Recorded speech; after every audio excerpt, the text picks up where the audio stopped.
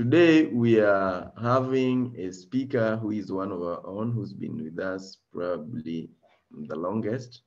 And uh, I'd like to have an intro for her. Nani, uh, Nashami, are you there?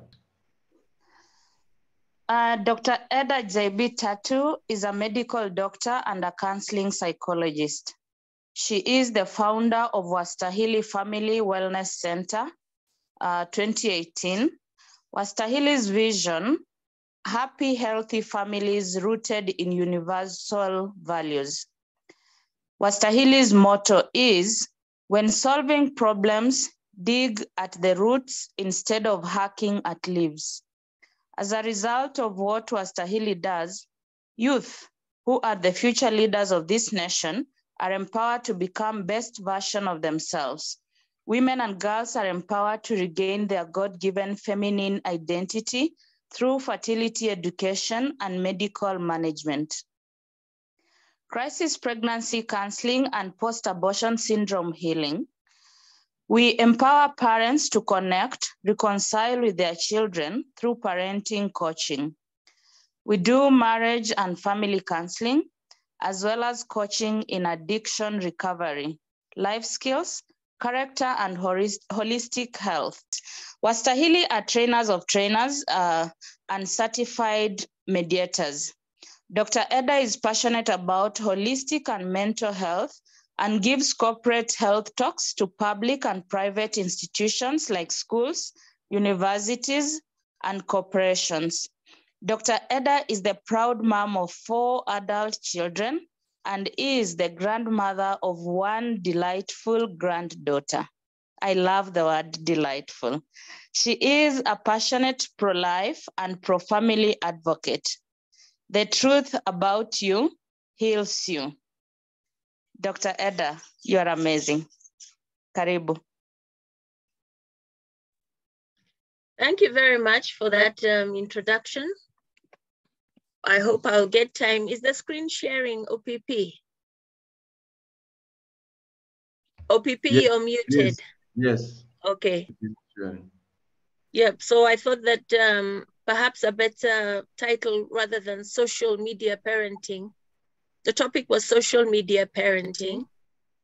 But I thought maybe we could talk about parenting in the digital age and uh, 21st century because social media parenting is just one part of it, and probably there could be a follow up to that.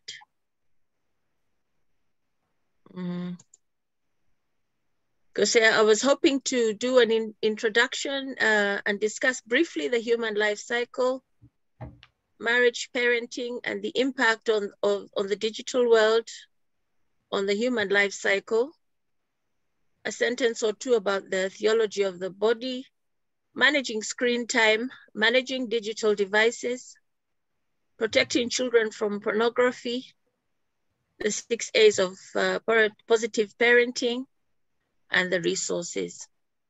Okay, so I'm a child of the 60s. Um, and that was the, the middle of the sexual revolution. I didn't know what was going on at the time, but women were supposedly liberated from slavery of men and the patriarchal institutions and liberated from their husbands. And in the process, we got the sexual revolution. And actually, we are 63 years down. And what many of you parents are seeing, um, very confusing about the destruction of life and family has been very a very deliberate destruction of the family. And here you see the Beatles. I used to listen to the Beatles on the radio and on the airwaves. And yeah, is that it is said that Satan is the prince of the air also because he he's determined to destroy the natural family and family values. Huh? So these are the kind of uh, jokes we share in our WhatsApp groups. We were young teenagers in the 70s and the 80s, and this is the kind of phones we had. They were landlines, and uh, we were in the we were in the phone book. So anybody could call you, and if if a, a, a boy called you and your father picked the phone, you were dead. So this is how we blocked people in the 1980s. Yeah? Okay, so um, I, I appeared on the Lynn Ngugi show um, on April the 1st, and it was called it was called Christians versus LGBTQ. And this was as a, a follow-up to the Supreme Court ruling, which um, allowed the registration of uh, LGBTQ organizations, and there was a very big uproar in the country. And then after that, I got a lot of phone calls um, from parents whose children were um, in the what we call the, the end stage of the sexual revolution, LGBTQ. Some were identifying as uh, transgender, which uh, is a, a, a lady who identifies as a man and a man or a man who identifies as a woman, or people suffering from same-sex attraction. So I got a lot of phone calls after that with people struggling with these issues. And uh, yeah, so we have the sexual revolution ideology. Uh, it's important that parents understand that the sexual revolution ideology is actually a religion on itself.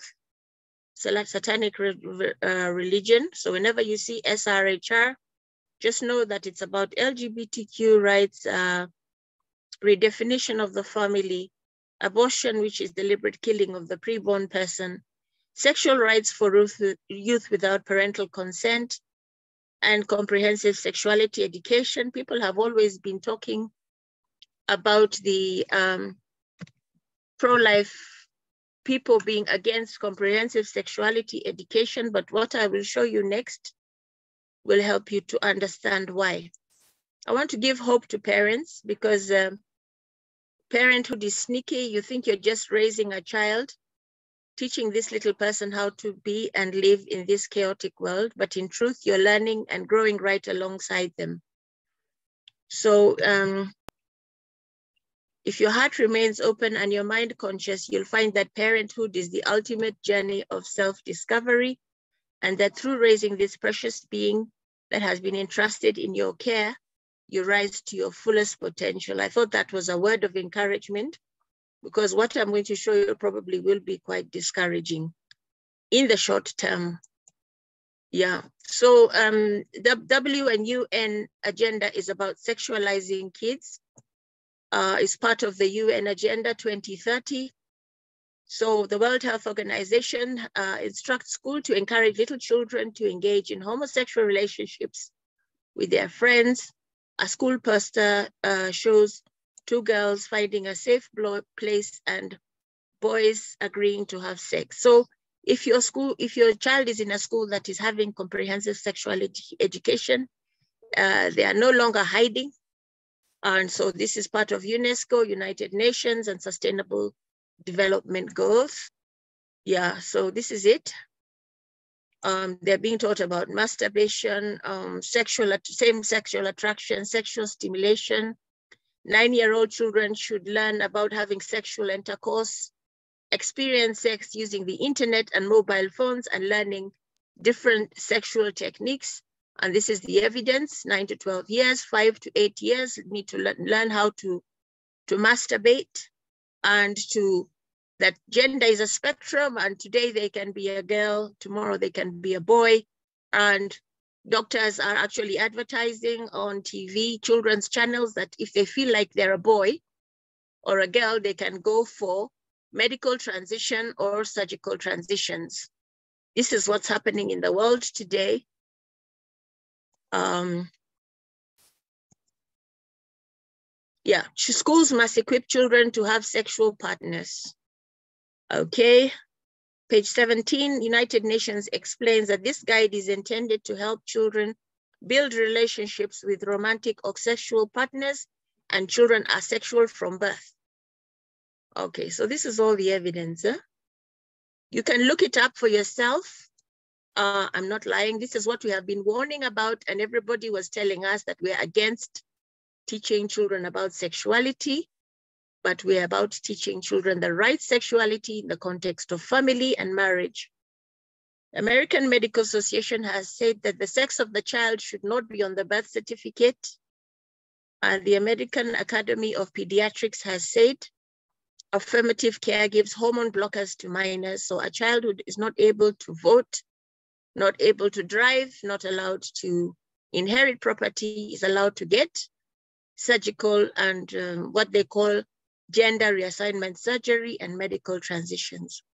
So the sexual revolution ideology has corrupted everything, including medicine. And we're no longer practicing medicine, we're no long, longer practicing health.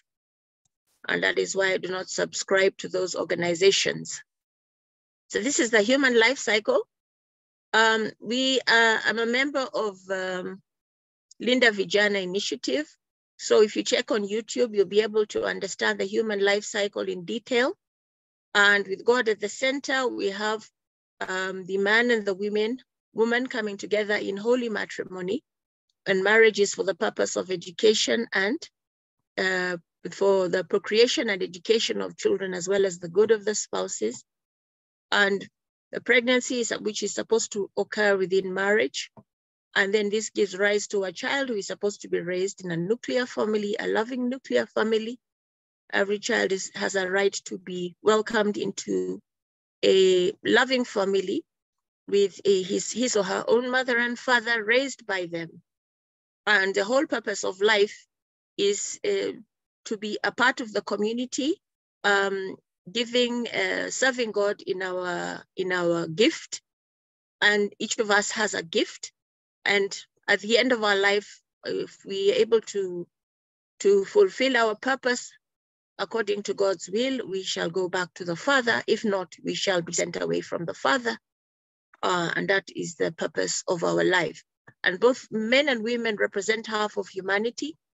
Therefore, we cannot say that they, can, they are interchangeable and our sexuality is directly intertwined with our purpose. Men have their primary roles, in the family, women have the primary roles and the secondary roles. Primary roles of women is to be nurturers. We nurture um, new life in our womb and we also nurture the family. And men, a primary role is protection and affirmation of the family members and gives identity to the family members. So when you hear about uh, sexual and reproductive health and rights and sexual revolution ideology, it is anti-family and so if, if you destroy anything within the human life cycle, you will ultimately have destroyed humanity. So that introduction was very important for you to understand that we're actually 63 years down the line from the sexual revolution. And um, one day probably I will be able to give that explanation. Yeah, so I've talked about um, those things. What you need to know about uh, parenting is that there are no parenting gaps. And the best gift you can give your child is united parents, committed to each other and uh, committed to bringing up their child. Yeah, so our dignity comes from the fact that God was created, man was created in God's image and likeness, male and female. And we are co-creators with God and uh, children us we are only stewards of our children. They don't belong to us. According to the human life cycle we're supposed to raise up a child and bring them back to the father. At the end of their life after they have learned from us how to have character. So the family's responsibility is to protect the children. In this case we are uh, sexualization by the media and the state as we said, there are no parenting gaps. They can be sexualized by the house help. They can be sexualized by neighbors. Uh, there are so many dangers out there. The primary, uh, the home is the, the first school of life and the, the, the primary teaching agent and the parents are supposed to be the first teachers. One of the aims of SRHR ideology is to remove parents as teachers so that they can have direct access to your child. Um, so we are expected to have self-control, commitment, and compassion to help our children develop uh, Christ-like characters. And conscience is a person's moral sense of right and wrong, which we're trying to build in our children. So all kinds of broken families are now depicted in pictures as equal. Homosexuality is offered as a, a normal option to destroy the sense of shame in our child. And um, yes, so those are the resources. So what is the attraction and impact of the digital world? Yeah, the advent of the internet has brought a lot of good, but also many dangers. If not managed well, damage us and our families. And the digital world is both attractive and addictive and impacts ourselves and our children. And so we need to know how to help our children manage the digital world. So you have social media sites, uh, which uh, include Snapchat, Google. Uh, we have the icons here, Facebook.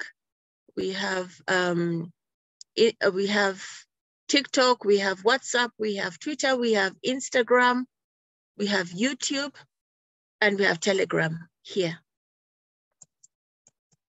Yeah, so the devices are used for leisure, education, work, and connection basically to connect with our relatives, but um, there are also other things that happen as a result. Yeah, so we need to know, have the latest news, watching movies. Basically, we need to know about, all of us are looking for God and we have a God-shaped hole. And after the fall of man, we tend to look for God in the wrong faces and places because we need affirmation and to be a reminder of our intrinsic worth and value. So if that's not happening in the home of origin, then we'll look for it outside. Yeah, so we look for perfect beauty, love, home, and truth. That's what all of us are craving for, even in nature, sunset, uh, sunsets, beautiful sunsets. Human nature is that I am a spirit and I have a soul and I live in a body. The soul consists of the mind, emotions, and the free will. Um, you know, um, these things were never taught in medical school. They were never taught in uh, um, when I was studying mental health, but it, there's no way you can treat somebody without knowing his nature. So it's important to remember human nature. Um, the dangers of the digital world include pornography. Uh, we have gaming addictions. We have depression, low self-worth, uh, fear of missing out, uh, is real. Social media has been found to increase depression and loneliness. Research reveals social media platforms like Facebook can really affect your mental health, especially because of that idea of comparing yourself to other people. We also have an explosion of attention deficit hyperactivity disorder. We have cyber uh, bullying, we have grooming and abuse. And uh, a study showed that uh, 80, about 80% of um, 16 to 24 year olds said that social media impacted their happiness, self-esteem, anxiety, loneliness, and depression. And you know that we are having an explosion of suicide in this exact age group. So um, social media can be directly related to that. There's also a, a movie you can get on Netflix called The Social Dilemma, the social media platforms have been designed as experts by experts to be as addictive as possible. They know how to get hookers, uh, users hooked. So the more users hooked onto their platforms and gain games, the more uh, money they get. People like uh, Steve Jobs and uh, um, the, the people who designed these programs would not even allow their own children play on these on these devices which showed you uh, that they, um, they, they used to really limit their, children's screen time and monitor it. But it's the same thing that they want us to use on our children. Eh? So it's important to know where our human dignity comes from, uh, that we're made in the image and likeness of God, that we are body, both bodily and spiritual beings. We're called to be a gift to each other, and we need character strength in order to prevent spending too much time on gadgets.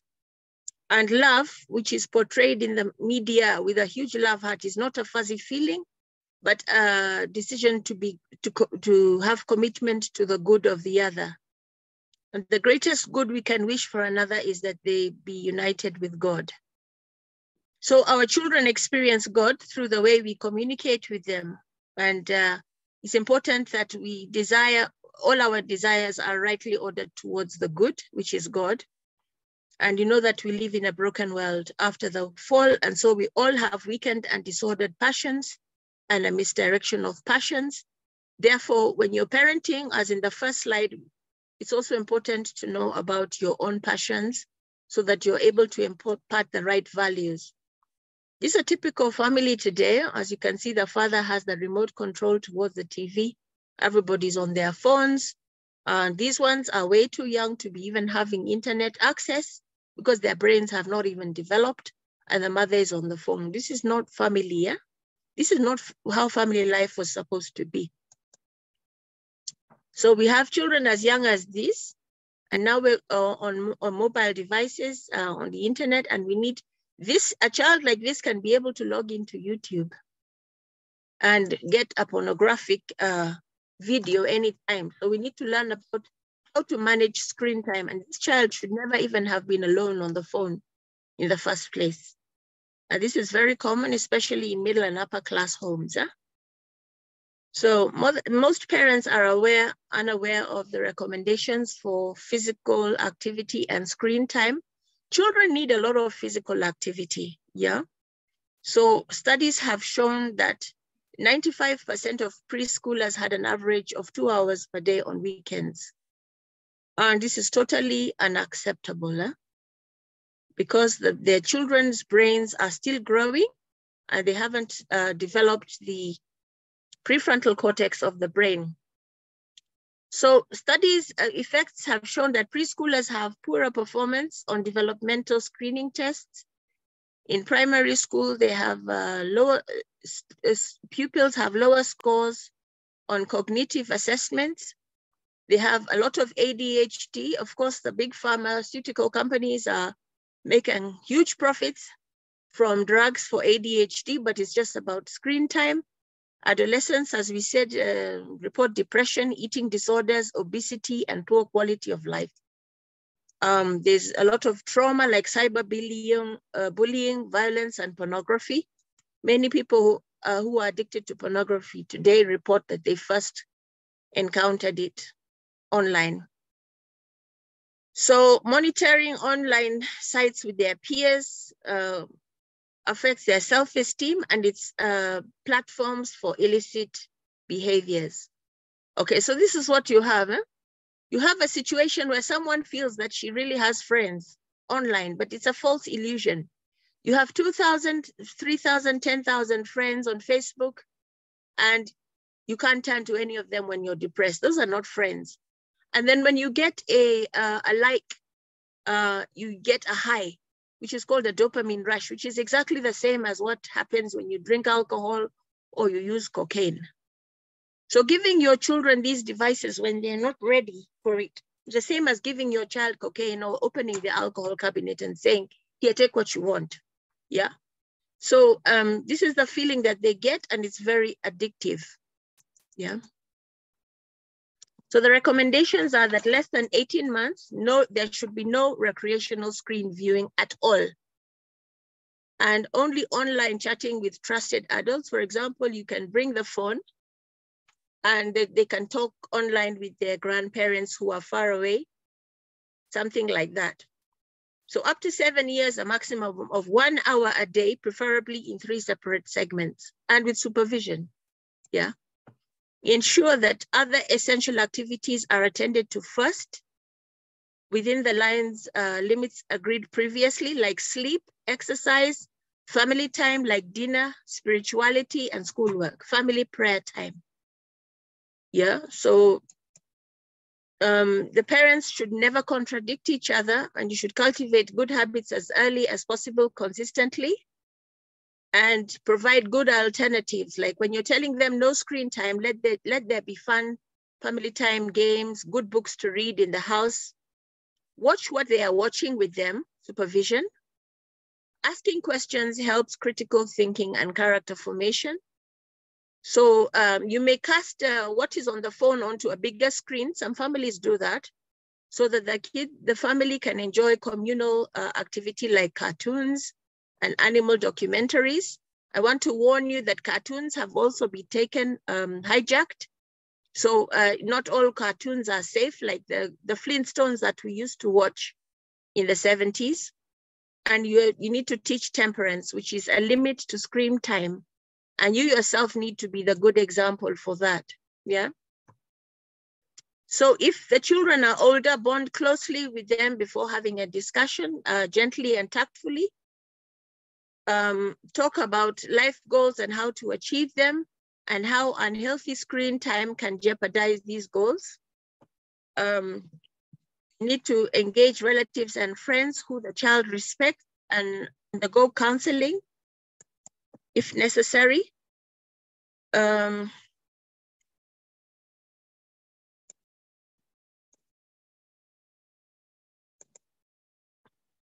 yeah, we need to be good role models.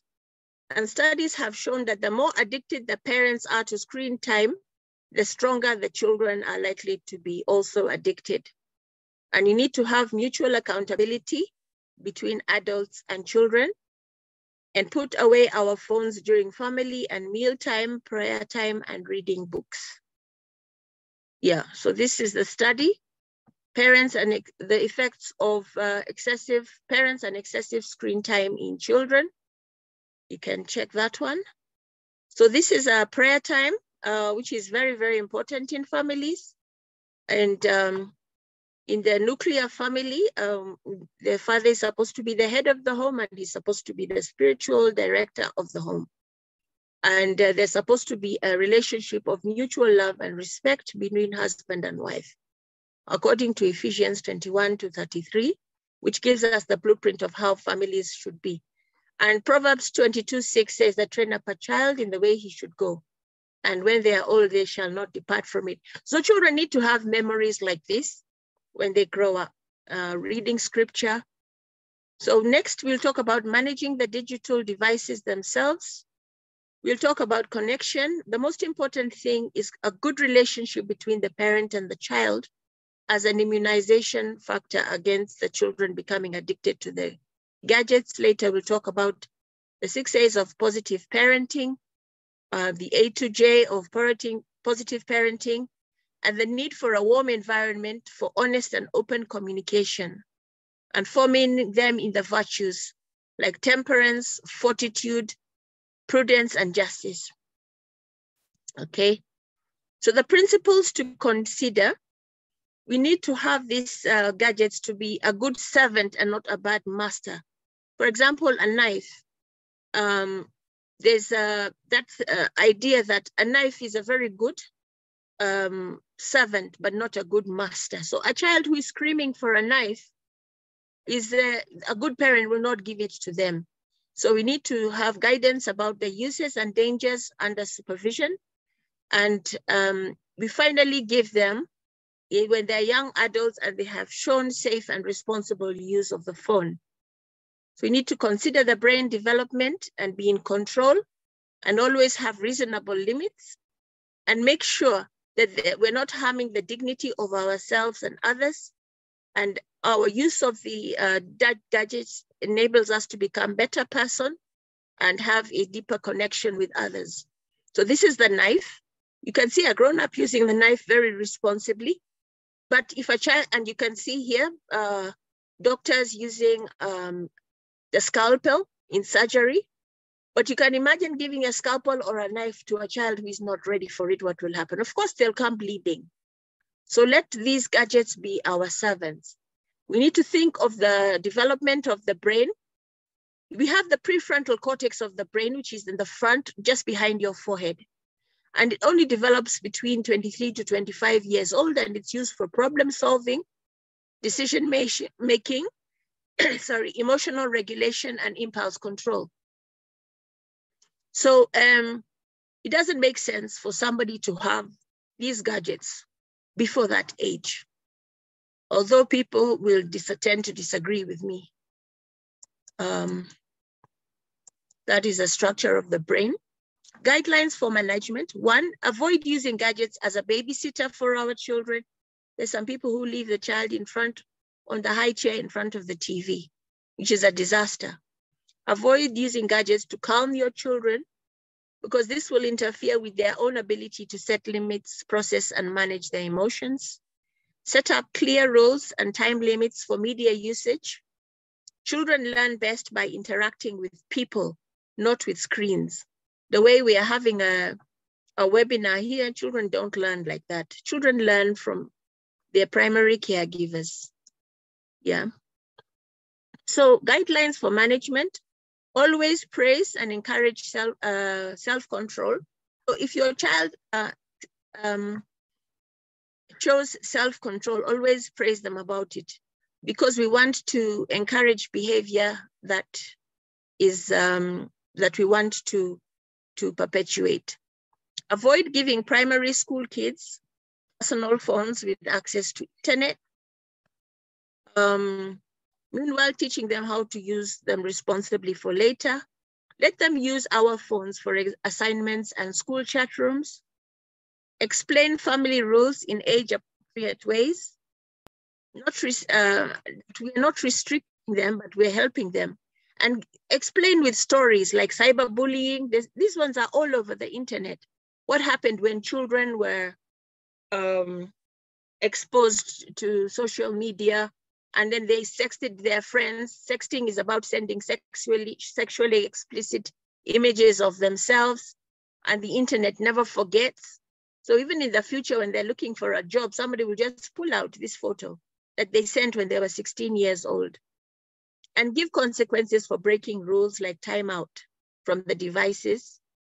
Um, there should be a gradual progression from a dumb phone to a smartphone um, when they show responsibility. A dumb phone is what we call a mlikamwizi. So a child, if you want to be in touch with them, can have a mlikamwizi so that you can contact them. But the more they show responsibility, they graduate to a smartphone. Yeah, so a dumb phone has no inter internet access. Use the computer at home for internet homework.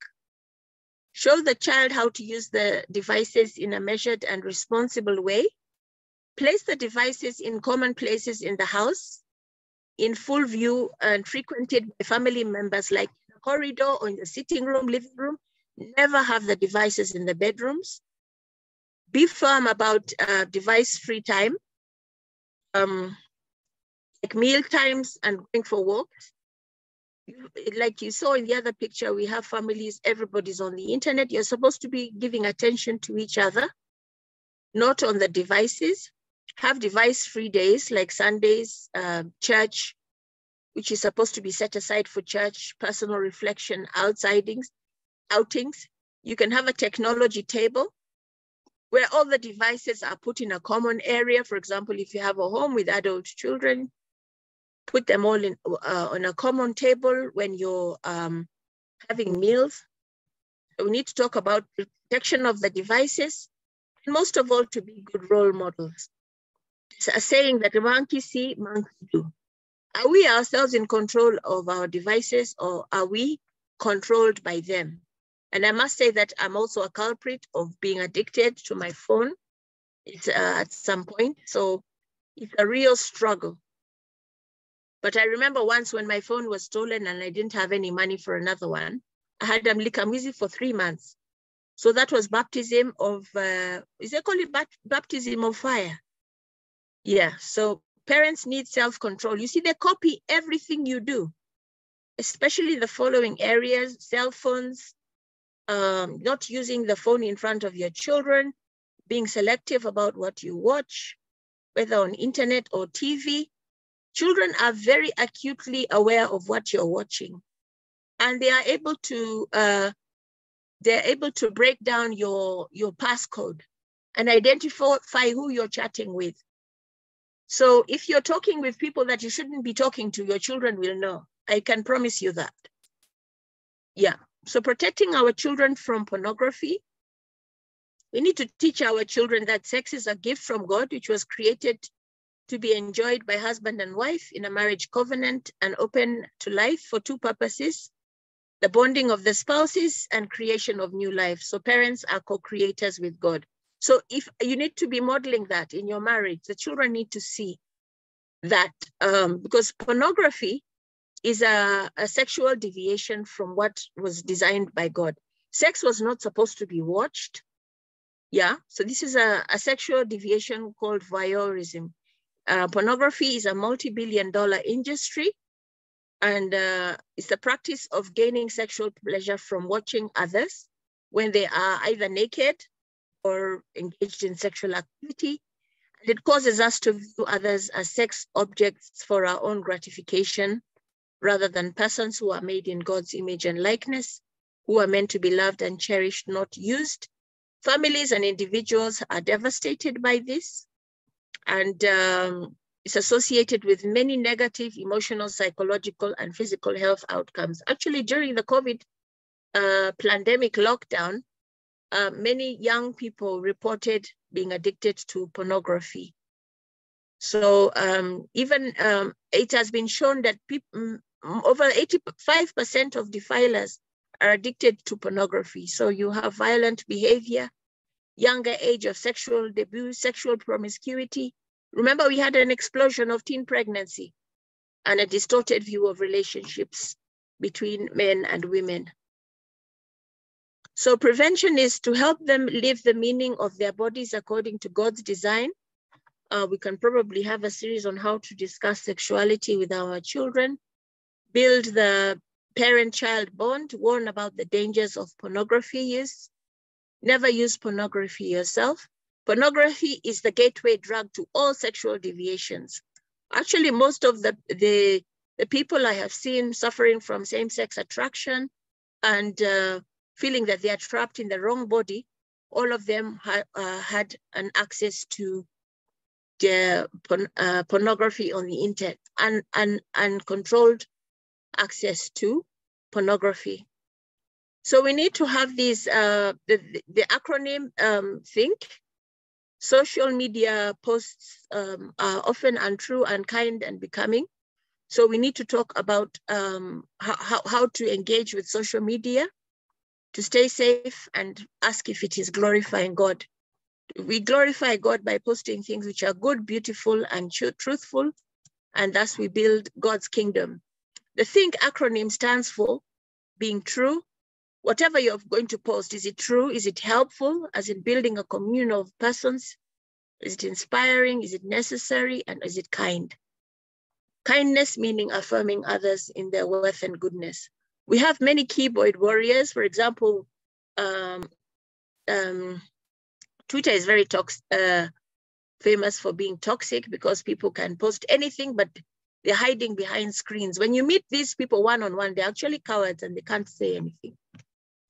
Um, so staying safe, protecting our children online. For example, sexting gets, uh, gets us into trouble with the law it can be disseminated wi widely and it goes viral as, and end up in the wrong hands with the wrong people like pedophiles and it's never erased from the internet. Never post addresses and your whereabouts. For example, you have parents posting online. They were in Mombasa, we had Diani Beach Hotel. Eh? When it's happening, you know, after the fact, it's very different. But if you, then another thing is that they'll know that you're not at home and that you you live, for example, in Lavington. So now they can come. Many times people have just been uh, stalked online. They know when you're not home because of the way you're posting, and they know exactly where you are. They know what time the buses, the children are picked up. So all these predators can, can find access to your children. So you have levels of security, first at the level of the internet provider. Uh, so you can check on the website and look for parental controls the customer service provider to see what services are on offer. The second level is at the wireless router, which allows the administrator to set security levels to filter off inappropriate content. The third is at the level of the devices. So you can install filtering and protective accountability software to protect them from sexually explicit images. And uh, another thing that happens in the family is a beautiful thing is mutual accountability to each other in the home to show the children that you're not just restricting this uh, their enjoyment, but you really believe in what you're doing. So give an idea of the sites visited and the apps used, even you yourself, yeah?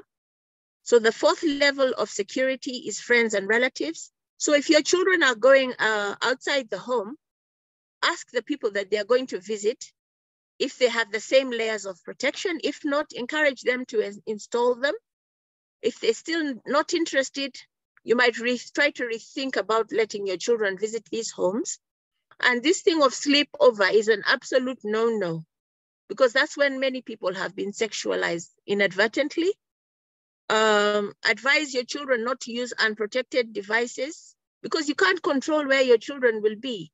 What we're emphasizing mainly is that they should have an internal locus of control and personal self-regulation so that when they're out there, they'll be able to uh, see what's bad from a mile. Like there's a 13 year old boy who was who has this uh, who has been trained in character formation by his parents. And he was telling me they went to a home where there was absolutely no control. And so he could see that everything was a disaster. And he protected his younger siblings from that. And he also refused to watch it. So let the, the, the, it, the locus of control be character formation and the child is able to identify what's not good. Assist grandparents to install protections. So sexting uh, is the practice of sending sexually explicit digital images, videos of yourselves, text messages or emails. And so the studies have been done on that. And there are multiple forms of sexting behavior that has been found in studies. And these children who sext are usually found to have a very low self-esteem and they succumb to peer pressure, romantic crushes, and cyberbullying. And there's a need for self-validation to feel seen and wanted, accepted and loved. Because like I showed you that girl who feels like, oh, she got a thousand likes for her, for her, uh, for her post. And probably she was even half dressed. You know that modesty is also a very big problem in our youth. Huh? So if it has already happened, keep calm, report it to the website or up where the image was posted. Try to have it removed as soon as possible. Report to the police. Continue to support your child um, through their pain and tears. Engage other adults. Engage professionals. And you might need to also have prayer and fasting. The greatest immunization factor is the prevention and we have the C, six A's of positive parenting, where we think of the child as both the builder and the building of his character to become the best uh, version of himself with a blueprint from the creator. So there you have the child trying to build the best version of themselves, their character, and there you have the blueprint from the creator who knows what they're supposed to be. So we have um, the building blocks of parenting. We have the, the, the foundation, we have the floorboards, we have the wall, you have the door and the windows, you have the ceiling, and you have the roof. And what we say, uh, the, the, the most important part is uncon acceptance, unconditional acceptance. That's the foundation. Then we have the floorboards, which is appreciation. Then you have the walls, which is affection. Then you have the doors, which is availability. And we have the, the, the roof, which is accountability and sorry, the ceiling, which is accountability and the roof, which is authority. The biggest problem we have in our society today, today is parents who are demanding accountability and authority without having put all these other things in place which constitute love. So this is the love, and then these are the expectations that we have of our child. You try to exert accountability and authority onto your child without having shown the child unconditional love, being available, um, then the whole building falls down and collapses. So I see we're running out of time and uh, probably we can talk about, okay, there's the acceptance. When children have uh, acceptance from their parents, they feel secure. Appreciation is when you actually try to look for a time, try to catch your children doing good things and appreciate them rather than only looking for when they're doing bad things and punishing them. This way, you'll be able to uh, and reinforce positive behavior. Yeah. Affection is, um, everybody has their own love language. This is love. Um, children um, uh, call love, they call it, they spell time, L-O-E-V, L-O-V-E. Children spell love as time, spending time with them. Without adequate affection, a child can grow into a teenager who is willing to trade sex for feeling loved. And everybody has their own love language. Some people, children love being touched, others love acts of service, others love words of affirmation, you know, I love you, you are a child of God, you are unique, you are irreplaceable, those kind of things. Eh? Then quality time and receiving gifts. So everybody has their own love language. When you spend time with your child, you'll be able to identify their love language. Parents can be over, overly committed and too busy. Like I say, there's no parenting gap. You might try to have a parenting date once or twice a week with your, but with each child, try to have a different date with each child. I know a family that has, the father has time with each, each child, the mother has time with each child because each child is different. When you treat them as a group or on mass, it doesn't really work so well. Accountability, uh, being accountable and responsible is a, push, a crucial part of growing up. So this means submitting to others in your family and ministering to their needs. Life is not just about you. Uh, authority, so um, you can uh, exert your authority. There's two types of uh, discipline, logical consequences and natural consequences. So we can talk about discipline another time. Um, so that's about building self-esteem. So the most important thing is the child should feel encouraged and feel safe to discuss with us freely without fear of condemnation. And the, a general message should be, we love you and you can turn to us anytime we are here for you. And we want to help you and your journey. Pray for ourselves and our kids. So the young people should be raised to honor life and respect the dignity of each individual. And um, it's not about limiting their freedom, because people who have no uh, constraint, no self-control results in ruthless individuals and leads to the dissolution of the supporting social structure. So this is ideally what a family should look like, communicating with one another, looking at yourself in the eye, looking at each other in the eye, um, so that you can notice any changes in your child. Um, going out for walks, having indoor games, uh, enjoying a sunset together without gadgets. Uh, that's the summary of parenting. Um, a, affirmation, B, being there, C, communication, D, discipline, E, empathy, F, forgiveness, G, God-centered, H, honest, I, integrity, and J, for joyful. Parenting should be joyful. And remember that this is spiritual warfare. We do not wrestle against flesh and blood, but against the rulers, authorities, cosmic powers over this present darkness, uh, who are against marriage, who are against the family. And um, yeah, so we have. yeah. Daktari, uh, yes. I think I think so we thank can. you. Mm. That's all. Thank you very much.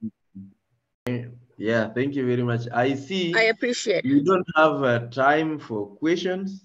Yeah. And uh, what I suggest is we are going to have a session for panel discussion, people just asking questions based on this Yes. and what we've been discussing in the course of the month, well-being. Yeah.